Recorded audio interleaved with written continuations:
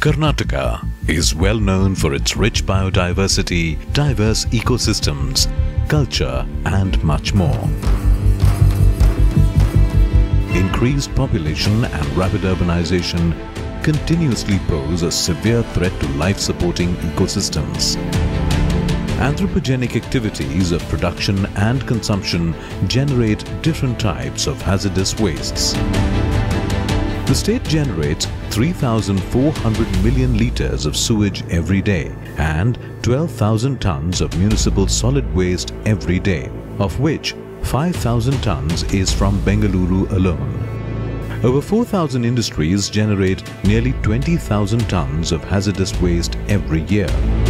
Over 40 lakh tons of fly ash is generated every day from 19 coal-based power plants.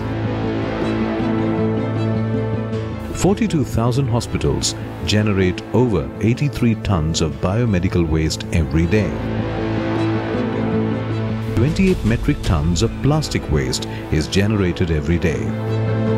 The booming IT sector burdens state with 12,000 tons of e-waste every year. Ever-growing infrastructure burdens Bengaluru annually with 2,700 tons of construction and demolition waste.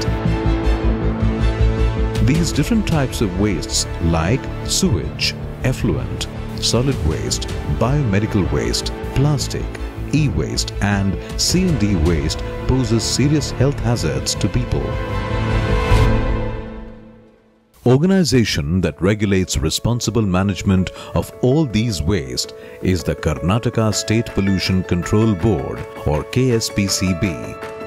KSPCB enforces the Water Act, Air Act, Environmental Protection Act and different rules like solid waste management rules, plastic waste management rules, hazardous waste management rules, e-waste management rules, noise rules, fly ash management rules, batteries management rules and much more. Prevention and controlling of pollution is the primary objective of KSPCB. Board enforces MSW rules to manage 12,000 tons of solid waste by urban local bodies including city corporations and BBMP through segregation, collection and processing of wet waste in processing plants and dry waste through dry waste collection centers. The board enforces Water Act on all urban local bodies. BWSSB and KUWs and DB to ensure the sewage generated in the state is managed through proper underground network and treated in sewage treatment plants. The board enforces the Water Act on all industries to treat effluent in ETP and CETP. Through strong biomedical waste management rules, KSPCB enforces all healthcare establishments treat biomedical waste through common biomedical waste treatment and disposal facilities. Through hazardous waste management rules, KSPCB enforces all hazardous waste generating industries to transport waste to common hazardous waste treatment and disposal facility.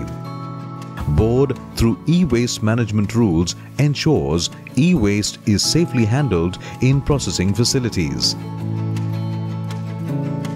Board through plastic waste management rules enforces plastic waste is recycled in processing facilities. Fly ash generated in the state is disposed in cement and cement brick manufacturing industries eight state-of-the-art labs accredited by NABL provided with latest equipment manned by scientists analyze various pollutants of sewage, effluent sludge and air emissions. KSPCB monitors air quality through network of continuous and manual ambient air quality monitoring stations. Board regularly publishes air and water quality index in the public domain to create awareness among the general public. Board ensures transportation of sewage, trade effluent, hazardous waste, biomedical waste through authorized transporters monitored by GPS technology and e-manifest system. Dedicated command and control center supported by rapid response vehicles and marshals address public grievance round the clock.